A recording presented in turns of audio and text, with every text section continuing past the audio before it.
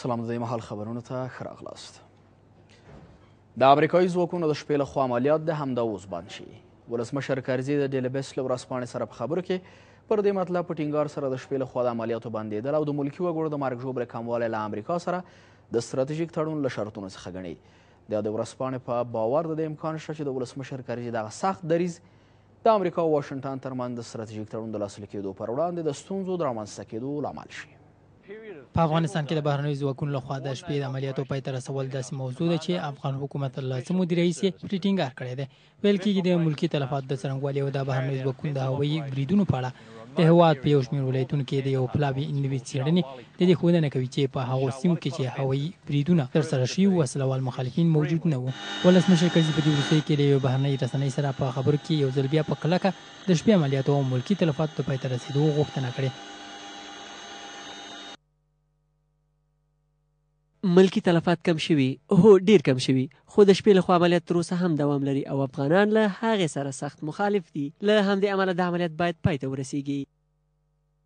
که څه هم افغان حکومت د شپې د عملیاتو پای ته رسېدل د کابل او واشنګټن ترمنځ د ستراتیژیکو اړیکو اساسي شرط ګڼي، د دې رپورټ له مخې که ولسمشر کرزی پر خپل دې دریځ ټینګار وکړي، ښيي چې د دې تړون لاسلیک کول له مات سره مخامخ کړي چې له مخې یې یو شمېر امریکايي پوځیان له دوه زره څوارلس میلادي کال وروسته په افغانستان کې پاتې کېږي. دا په داسې حال کې ده چې له دې مخکې د ملي دفاع وزارت ویاند ویلي و، افغان پوځیانو تر اوسه په یوازې د عملیاتو د ترسره کولو توان نه دی ترلاسه کړی. در حال حاضر بیشتر همون نقش داخل شدن به خانه را افغانها بازی میکنند و کوشش جریان دارد که در آینده های نزدیک امی قابلیت ها و امی ظرفیت ها انتقال بخوره به نیروهای امنیتی افغان اما عملیات ش... از جانب افغانستان عملیات شبانه انجام بشه یا نباشه نشه او رئیس جمهور افغانستان من از قانون علای قوی مسئله افغانستان تصمیم میگیره ولسمشر کرزی د افغانستان په جګړه کې د بری په اړه د پنټاګون د هیلمندۍ په وړاندې بل ډول نظر لري که په جګړه کې بری پر طالبانو د سختو بریدونو د زیاتوالي په مانا وي، دا سمه نه ده، خو که په هېواد کې د امنیت د راوستو په مانا وي، دا سمه خبره نه ده، ځکه موږ تر اوسه له هغې ډېر لرې یو. ولسمشر کرزی ټینګار کوي، امریکا پر هغه ځای چې باید لس کاله مخکې یې په نښه کړی وای، په نښه نه کړ. له همدې امله پاکستان تر اوسه هم د ترهګرو امن پټنځی دی. بلخوا ولسمشر کرزی وایي د سولې د خبرو اترو مشري افغان دولت نه لري ښاغلي کرزي د ډیلي بیسټ او نیوز ویک له مجلې سره په خبرو کې ویلي دي چې هغه په افغانستان کې د امنیت د ټینګښت په اړه د خبرو هرکلی کوي بلخوا د امریکا د بهرنیو چارو وزارت ویاند وایي په قطر کې به د سولې د خبرو اترو مشري افغان دولت پر غاړه ولري یو شمېر کارپوهان وایي افغان دولت د تیرو لسو کلونو له لاسته راوړنې باید د سولې د خبرو اترو قرباني نه کړي د طالبانو او امریکایي چارواکو ترمنځ د خبرو لومړنی پړاو دوه کاله مخکې د جرمني په مونیخ ښار کې یولس ساعته خبرې وې اوس دا خبرې داسې پړاو ته رسېدلې چې طالبانو هم دې بهیر ته چمتووالی ښودلی دی خو هغه څه چې ولسمشر کرزی اندېښمن کړی د امریکا لخوا د دغو خبرو د مشرۍ ترلاسه کول دي روښانه ده چې له طالبانو سره د خبرو مشري افغانان نه لري ستونزه همدا ده موږ دا ستونزه له امریکایي چارواک سره هم شریکه کړې ده خو د دې لپاره چې په افغانستان کې ژر تر ژره سوله ټینګه شي موږ له دې کار سره موافق یو که ما د ملا محمد عمر د ټلیفون شمیره لرلای همدا اوس مې له هغه سره اړیکه نیوله او ورته ویل مې راځه دواړه افغانان سره خبرې وکړو که څه هم افغان دولت ګومان کوي چې د دغو خبرو مشري به امریکا ولري، خو د امریکا د بهرنیو چارو وزارت ویاند په دغو خبرو کې د خپل هېواد رول دا ډول لنډوي. واشنګټن د اړتیا په صورت کې د سولې په بهیر کې د ګډون لپاره چمتو دی، خو بالاخره به د دې بهیر مشري د افغانانو پر غاړه وي. دا پروګرام د امریکا لخوا پر مخ نه بیول کېږي. دا بهیر باید د افغانانو ترمنځ پر مخ ولاړ شي. کارپوهان په دې باور دي چې امریکا د دغو خبرو لپاره د قطر په ټاکلو سره په یو ډول افغان دولت سنډته کړی دی. له همدې امله کارپوهان د دغو خبرو د څرنګوالي نه روښانه کېدل د اندېښنې وړ بولي. به خاطر که ما بسیار تجارب تلخ داریم که امریکایی‌ها به خاطر تأمین منافعشان از دیکتاتورترین رژیم‌ها در جهان حمایت کردند. شما در عربستان سعودی کویت و کشورهای خلیج و حتی در کشورهای امریکای لاتین به از پینوچیت اونا که مایت کردن من راستی دارم که مذاکراتی که اگر مردم افغانستان و دولت افغانستان در جیران نباشه مذاکرات ما بسیار تشویش دارم و خطرناک است تا خاطر که ما که روی چه مذاکره صورت میگیره و مذاکرات به چه منظوری صورت میگیره له بلې خوا تر اوسه روښانه نه ده چې افغان دولت به د حقاني له ډلې او د ګلبدین حکمتیار په مشرۍ حزب اسلامي سره څه ډول خبرې وکړي او آیا د دغو ډلو لپاره به ځانګړي دفترونه پرانیزي؟ افغان دولت ته د باګرام زندان د مسولیت د سپارلو په اړه د کابل او واشنګټن ترمنځ خبرې شوې دي د امریکا متحدو ایالتونو د بهرنیو چارو وزارت ویاند وایي افغان دولت ته د باګرام او نورو زندانونو د مسولیتونو د سپارلو په اړه هوکړه شوې هغه ټینګار کوي چې په زندانونو کې به له بندیانو سره هر ډول بد چلند د ایساف او د امریکا د دفاع وزارت لخوا وڅېړل شي. افغان حکومت ته د بګرام او په افغانستان کې په امریکایي زندانونو کې د نورو افغان بندیانو د مسولیت سپارل د افغان دولت له غوښتنو څخه دي په دې وروستیو کې ولسمشرۍ دفتر اعلان کړی څېړنو ښودلې چې په بګرام زندان کې له بندیانو سره د افغانستان د قوانینو او د بشري حقونو د معیارونو له مخې چلند نه کېږي. له همدې امله ولسمشر کرزي په دې وروستیو کې افغان حکومت ته د نوموړي زندان د مسؤلیت د سپارلو غوښتنه کړې ده. د امریکا د بهرنیو چارو وزارت ټینګار کوي، افغان حکومت ته د بګرام او نورو زندانونو د سپارلو په اړه موافقه شوې ده.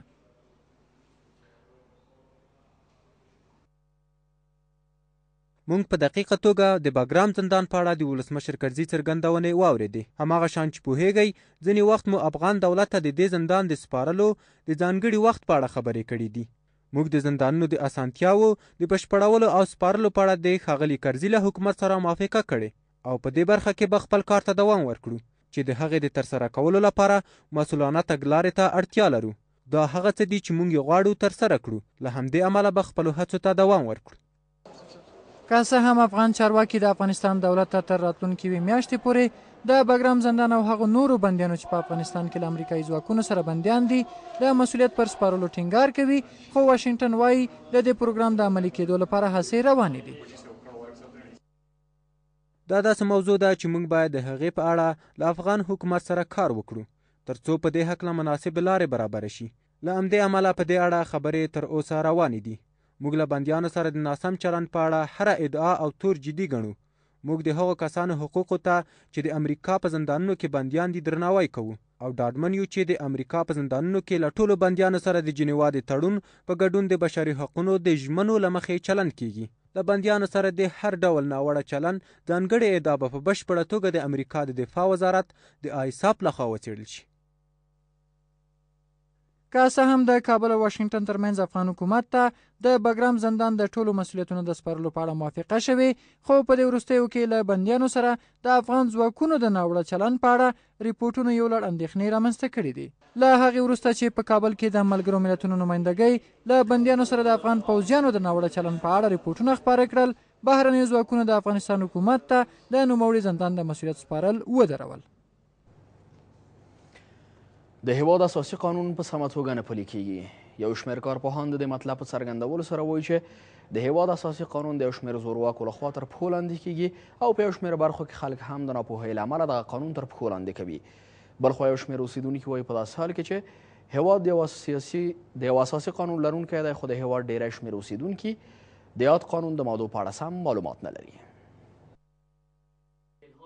د اساسي قانون اونۍ په داسې حال کې د کلیو د پراختیا وزارت او کابل ښاروالۍ لخوا لمانځل کیږي چې ډیر کارپوهان په دې باور دي چې په هیواد کې اساسي قانون په سمه توګه نه عملي کیږي. متاسفانه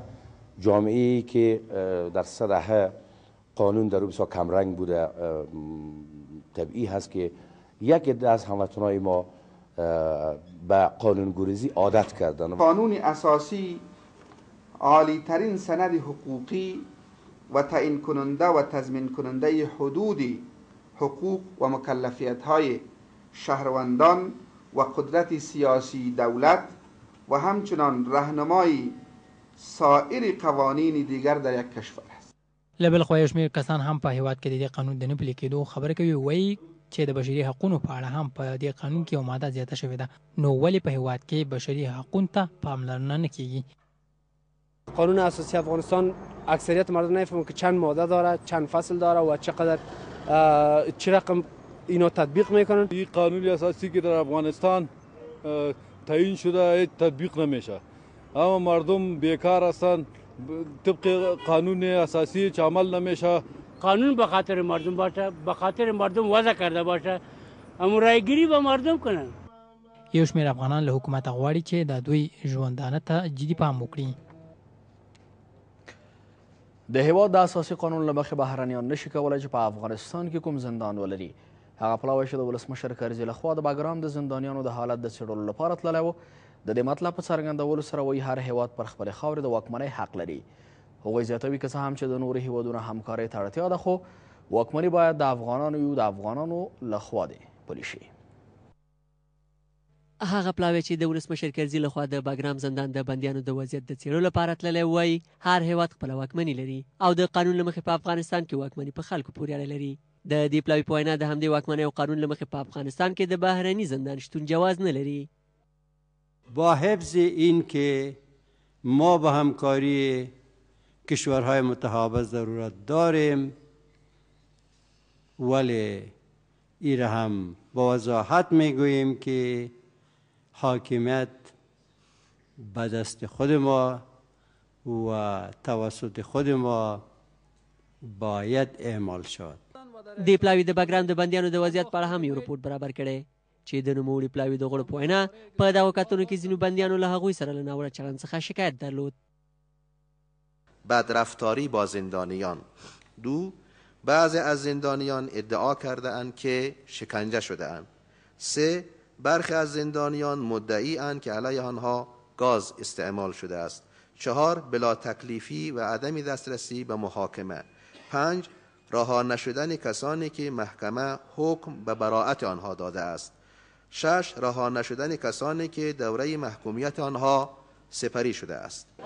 دغه پلاوی زیاتوي دوی د بګرام له دواړو داخلي او بهرنیو برخو څخه لیدنه کړې ده د دې پلاوي په وینا د نوموړي زندان په داخلي برخه کې له بشري حقونو سرغړونه کمه ده له دې سره سره پلاوی ټینګار کوي باید افغانان په خپلو پښو ودرېږي او د نورو پر اوږو بار نه وي یو شمېر امریکایي سناټوران هڅه کوي چې د ګوانتانامو له زندان څخه بل ځای ته د پنځو طالب جنګیالیو د لیږد مخه ونیسي رویټرز خبري اژانس د سپینې ماڼۍ د یو شمېر چارواکو له خولې چې غوښتي دي نومونه یې وانخیستل شي ویلي د امریکا د مشرانو جرګې یو شمېر غړي په دې اړه پر خبرو اترو بوخت دي چې ګواکې څه ډول د ګوانتانامو له زندان څخه بل ځای ته د پنځو طالب جنګیالیو د لیږد مخه ونیسي رویټرز خبري اژانس لیکي یو شمېر امریکایي سناتوران له ګوانتانامو زندان څخه د پنځو طالب بندیانو د خوشې کېدو د مخنیوي لپاره د لارو چارو په لټه کې دي. د رویټرز په وینا د دغو جمهوري غوښتونکو سناتورانو په هڅو کې د اوباما د ادارې د دې طرحې په اړه د اصلاحاتو ردول شامل دي. په هغو پنځو بندیانو کې چې ښایي له ګوانتانامو زندان څخه خوشې شي د طالبانو د رژیم د استخباراتو د پخواني مرستیال عبدالحق واثق، د یو ولایت د والي ملا نورالله نوري، د لوی درستیز ملا فاضل او د طالبانو د رژیم د هرات د والي ملا خیرالله خیرخواه نومونه تر سترګو کېږي. رویټرز خبري اژانس لیکي، دغه بندیان له ګوانتانامو زندان څخه له خطرناکو کسانو څخه دي. د دې خبري اژانس په لیکنه کې د امریکايي سناتوران په دې اړه اندېښمن دي چې ښايي دغه کسان افغانستان ته له رسېدو وروسته د طالبانو د هغو جنګیالیو او قوماندانانو په شان چې د کندهار ښار له زندان څخه وتښتېدل، دوی هم په تېښته بریالي شي او له نورو طالبانو سره چې په افغانستان کې د بهرنۍ ځواکونو په وړاندې جنګېږي یو ځای شي. د یادونې وړ ده د اوباما اداره هیله منده ده چې له ګوانتانامو زندان څخه د دغو طالب مشرانو په خوشې کولو سره به د افغان حکومت او طالبانو ترمنځ د خبرو لپاره زمینه برابره کړي د کندهار ولایت د شاولي کوټ ولسوالۍ اوسېدونکو د یاد ولایت د ولایتي شورا پر ضد لاریون وکړ لاریون کوونکو چې شمېر یې سلو تنو ته رسېده د دې ولایت پر ولایتي شورا په نیوکې سره ویلي دي چې د دوی په کارونو کې لاسوهنې کوي خو د کندهار ولایتي شورا بیا د دوی دغه ادعا ردوي غلام احمد معصومي رپورټ راکوي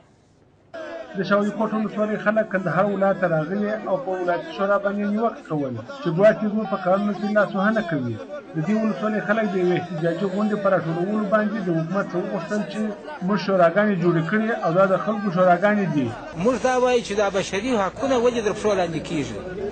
دا خو د خلکو انتخاب دی دا خو په دولت کومه اړه نه لري. زموږ د چې هر څو نیاک راغلی دی په شاه ولي کوټ کې چاته ولاکه رسېدلی دی موږ وایو چې زموږ د خیر د شر مشر زموږ د دغه اسمت الله خان دی. زموږ په مابینځ کې هیڅ مخالفت نشته د یوه قوم در مابینځ چپله د خلکو ماتې وه چې پنځه کسه په شکایت راغلي. یو سلو دېرش موټره غلا شوي دي د شهیدانو عفونه. خو د کندهار ولایت د ولایتي شورا مرستیال حاجي اغالالی د سدیې دا دا خبرې نه مني او وايي چې ولایتي شوراګانو د خلکو د ستونزو د پیدا کولو لپاره نه بلکې د خلکو د ستونزو له منځه وړلو لپاره په کار باندې ګمارل شوي دي. سویل کوټ خلک چې مشکل کې د مشکل خبره کړې ده زه فکر کوم چې دا به د دې یو د اړوند اړوند وزارت مامورین در مابین چې مشکل وي یا به د بل چا سره وي ولایتي شورا په دې کې هیڅ نوع دخالت نه لري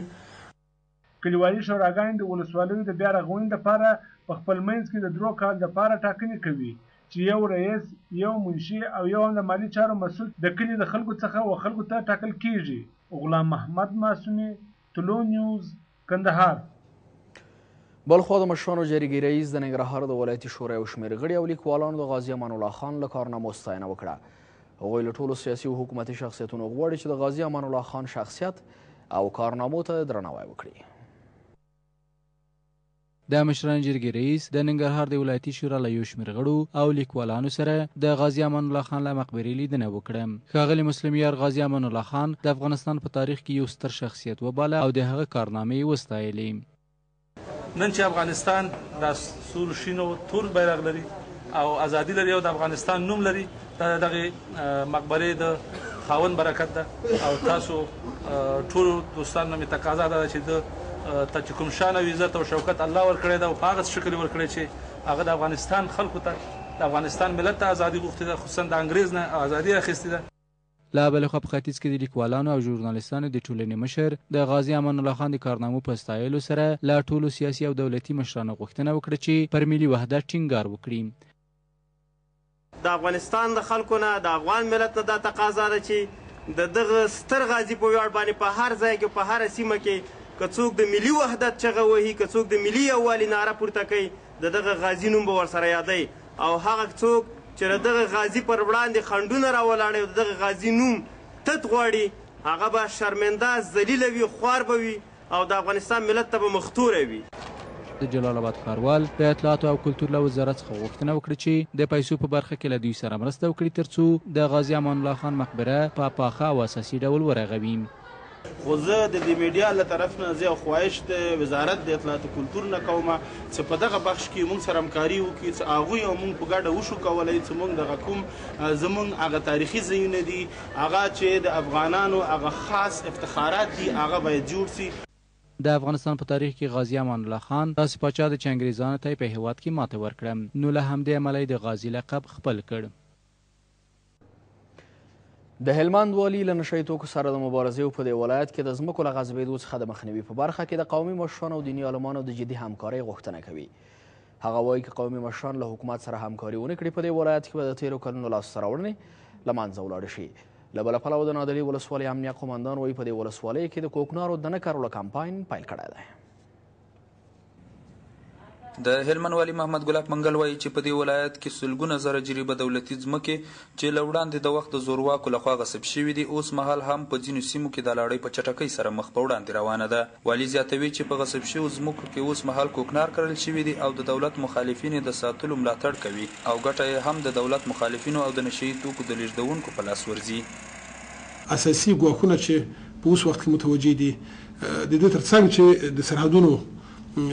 سرحدونه باید خوندي شي، د دې ترڅنګ د مخدره موادو او د ځمکو د مافیا د پرمختګ مخه باید ونیول شي. د ده په خبره، که چېرې د دولتي ځمکو د غصب او د کوکنارو د له منځه وړلو لپاره ځانګړي پلانونه په لاره وانهچول شي، کېدای شي هغه امنیت او پرمختګونه چې په تېرو څو کلونو کې په لاس راغلي، له لاسه یې ورکړي. په همدې حال کې د نادعلي ولسوالۍ امنیه قوماندان سمونیار عمرجان حقمل وايي چې د شنبې په ورځ یې د نادعلي ولسوالۍ په نري مانده سیمه کې د کوکنارو د له منځه وړلو کمپاین پیل کړی دی. حقمل وايي چې د کمپاین پر مهال د دولت د مخالفینو له غبرګون سره مخ شوي دي، او اوس مهال هم په سیمه کې سخته جګړه روانه ده چې د زیاتو کروندګرو هغه وسایل چې د کوکنارو په خړوبولو کې ترې کار اخیستل کېږي له ځان سره وړي دي. بریالی رحیمي، طلوع نیوز، هلمند.